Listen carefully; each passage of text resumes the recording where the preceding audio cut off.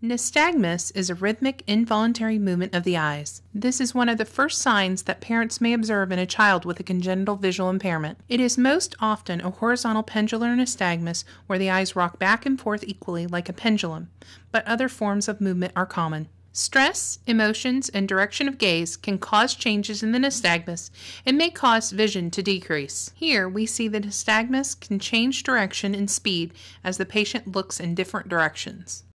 Note that as one of the patient's eyes is occluded, the speed in the nystagmus increases.